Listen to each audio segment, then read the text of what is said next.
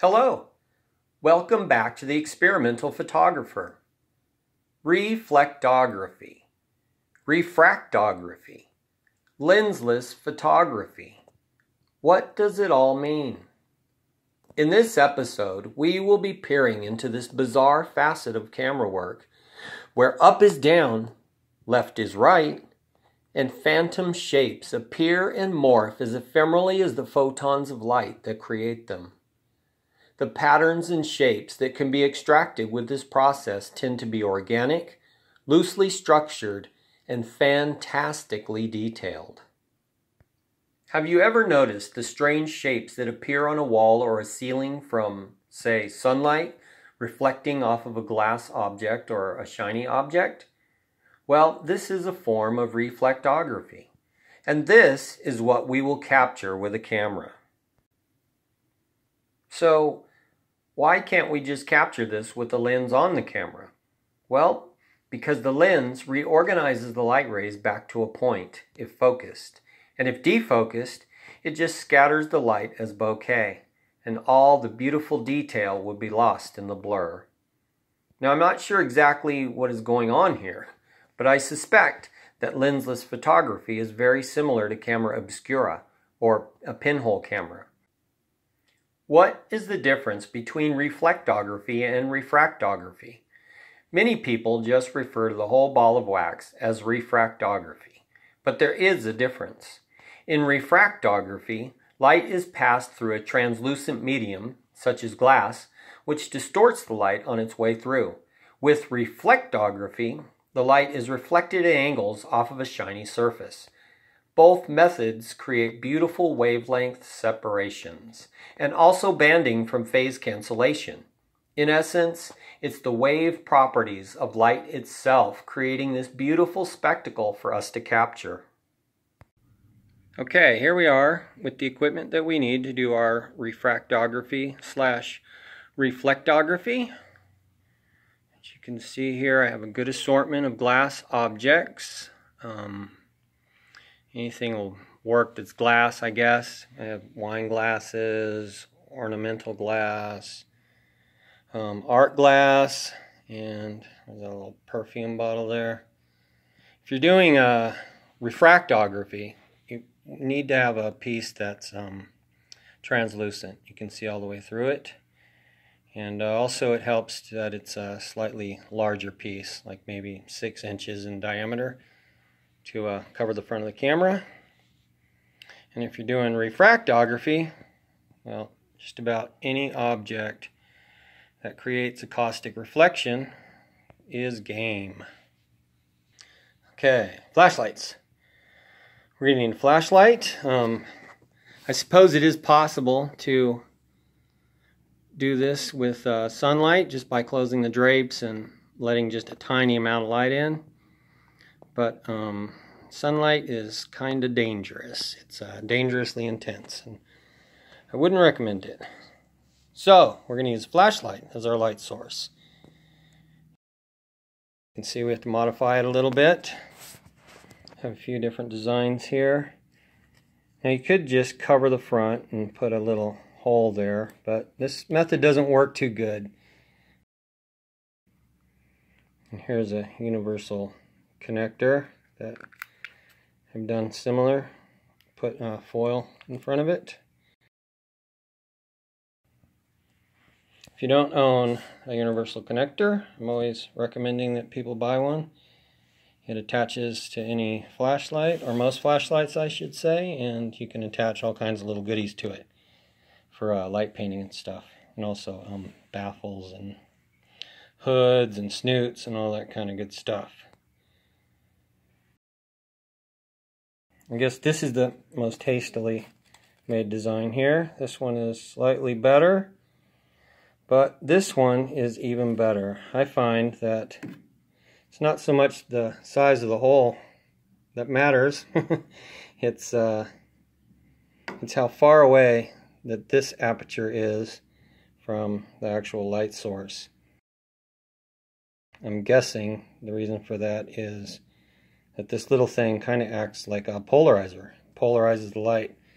So the light coming out of the end here is traveling in a straight line. So something with a little bit of distance between the light and the end aperture. This is a, a paper towel roll center. You could probably also use a um, toilet paper roll. then you would just shove the flashlight in the end here and light it. What else will we need? We will need a camera, of course, with the lens off and um, preferably with the tripod to go with it. And you know, I don't think a shutter release cable is required, but probably helps. And I have a few light stands here that I use. They're not required, but they definitely make things easier. This one here I use to attach my flashlight to.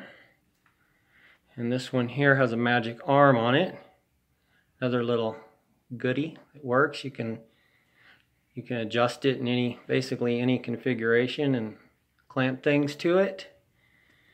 And also I have this little homemade platform that I made. As you can see I attached a quick release plate to the bottom there. I can attach it to any one of my tripods and I can also attach it to my light stands. Most often what I do is I use these two together. I'll place a piece of glass on the platform and then I will use the magic arm to position it how I want. None of this stuff is required but makes life easier. The uh, light stands, you know, they're fairly cheap. I think they go for around 30 bucks on Amazon. Now you can totally do this off of a table or you know a platform, a larger platform like my uh, piano bench here. Just make sure you cover the uh, surface with a dark cloth and keep in mind that the platform has the potential to throw unwanted light into your scene. So that's why I kind of get my glass out here in the open where there's not much to reflect the light into my image. And as you can see here, I have this one all set up on my platform with the glass and the magic arm is holding it in place. I've fidgeted with it until I got it how I wanted it, the picture. Glass is about a foot away from the camera. Lens is off, all ready to go. My light source is in the other room. Approximately, oh, I'd say 12 feet away. 12 to 15 feet seems optimum. And again, you know, you don't have to have a stand for your light. You can set it on a table or something and just prop it up so it points in the proper direction mine here. You can see I have that attached with some rubber bands.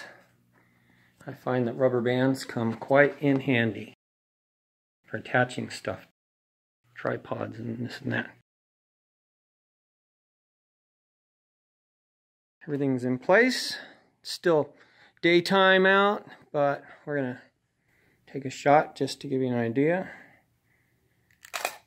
see there, already have something there. It's not beautiful. But uh, wait until it gets dark and we will get something beautiful. So just to go over it once more, obviously shooting lensless exposes your camera to some, uh, you know, to the risk of dust and other damage from the very delicate sensor inside. I'm not recommending anyone do this but I use these sensor swabs. And they seem to work pretty good. With reflectography and refractography, you know, not only do you have to risk getting dust in there, but if there's dust on the sensor when you go to do the reflectography, refractography, you will have dust all over your photo because this method is ruthless when it comes to dust. so typically what I do is I actually clean my sensor before I take my reflectography refractography shots. Well, all right, here we are for our live demo. To do things a little bit different this time. I uh, just figured out like 10 minutes ago that I can do lensless video. It is super cool. So we're going to do that. And the process is basically the same as, uh, as if I were shooting stills. Just go in here, turn on the video. Basically, I would just turn the glass, search out the glass for patterns that I like.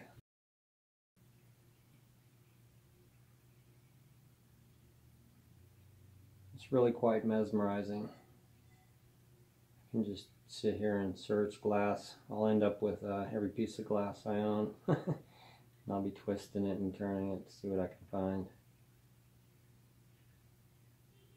So if I was taking a still, I would search out the glass like this until I found something I like. And I like this, and so I would take a still of this right here. Alright, here's our reflectography demo. With reflectography, I'm bouncing the light off the glass in about 90 degree angle right now. But different angles work and it produces different patterns. You can find different patterns.